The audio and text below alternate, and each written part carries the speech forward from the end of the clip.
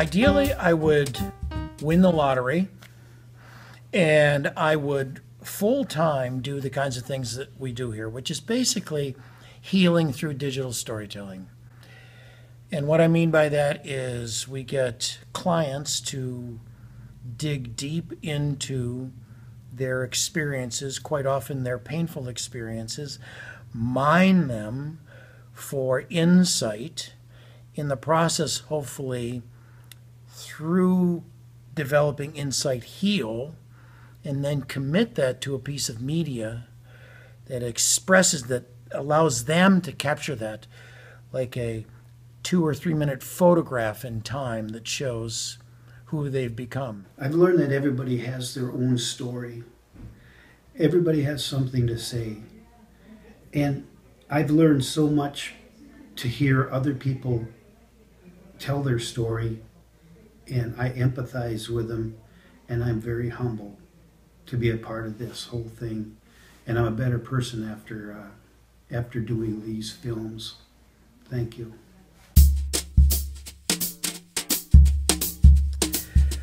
About 10 years ago, so this would be going back to 2006, Susie Omer, who is director of the Petersburg Mental Health Facility in Petersburg, Alaska, and I joined forces.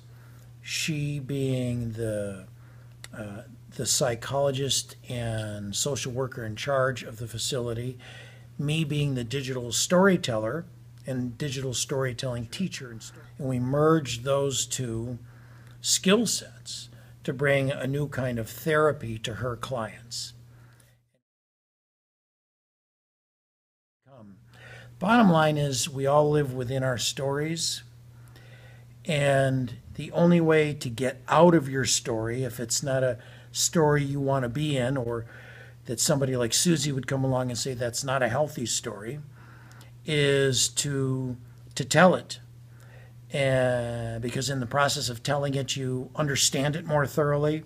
You bring it to the surface. You can sort of look at it.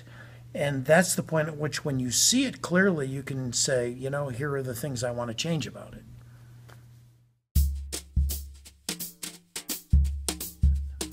And the thing about media is when you make it, you have to make decisions.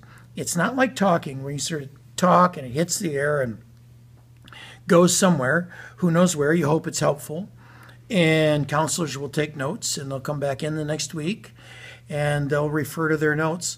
When you make media and you've got a minute or two to say something, you really have to think about it. You have to go through the writing process. The writing process is inherently reflective and insightful, and it forces you to make connections. So you have to go through that. So I think just by writing, regardless of whether you got media or not, just by writing, you're you're you're going to be ahead in terms of healing. Then to take media to be able to think not just in terms of words, but in terms of images or moving images or music just brings a whole nother level to it. Then to take several media and put them together and make the kinds of production decisions that a movie maker would make because a movie maker wants to make a statement.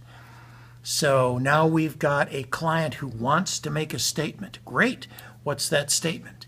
And how do we make it? With this picture versus this picture, they might be similar, but I want to use this one. That's exactly how a producer or a director thinks. I'm going to use, I need this shot. Great, that's good. And why do you need this particular kind of music? And so a lot of the healing that I think that uh, comes out of these workshops happens between uh, clients and counselors in the conversations they have as they develop the scripts and they make the decisions sort of cooperatively about those those kinds of uh, media choices and so on. It might on the surface look like a media choice. Below the surface, it's a very personal, intimate choice that reflects a growing understanding of their situation. I think it's real important that each of us uh, continue to work on ourselves and to write down. Uh, because of this, I want to write more.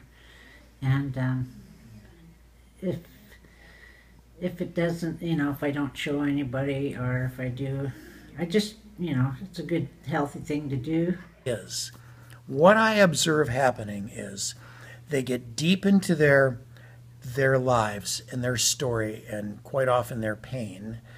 And that's hard to do. But at the same time, because they're making media, they have to do all sorts of practical things. Take pictures, get things written, get things put together, understand how the software works. And those two people, parts of them, sort of keep each other in check. And it's what th- this guy helps him get over the goal line. This guy makes sure that there's a reason to get over the goal line. And I think the media has gotten to the point now where it's so easy and the ability to create the kind of media that we used to assume we were only going to consume because you needed thousands of dollars and engineers and so on. Those days are over. You can get a $300 iPad and plug it into your Wi Fi system at home and be a TV station at this point. So the barriers to production, I think, are basically gone.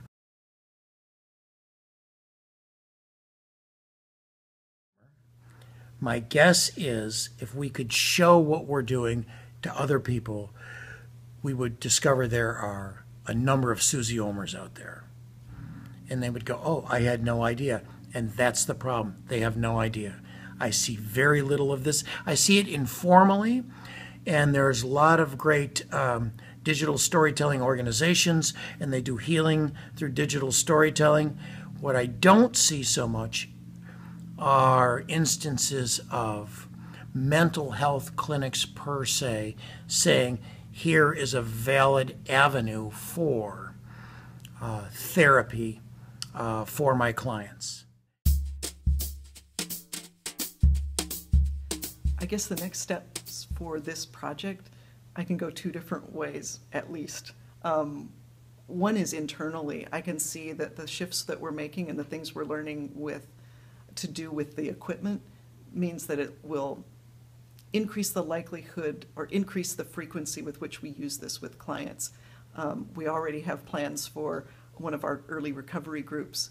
Let's have them, you know, all work on a story. We have enough iPads. Let's do it with everybody. So I think that's one way I can see therapeutically we're going to be using this more. We're going to be more comfortable with the language and the process of it and helping clients um, hear, you know, identify what their story is, some of the pivotal moments in their life and how they've interpreted over the years. We'll be able to work with them in a deeper way. From the other perspective of being part of the project, I'm hoping that we can take this to a, a bigger place so that we can take it outside of the realm of just Petersburg. I love Petersburg, lived here all my life, this is where I'm going to be, but I'd love to see other people doing this. I think this is something that's that translates to almost any population. And like I've talked about before, there's got to be some magic in therapy, or it doesn't really work for me. And this always, this project has always brought back so strongly here's the magic. The whole thing was like, taught me that I should be focusing on that I'm beautiful and I deserve beautiful things instead of yuck.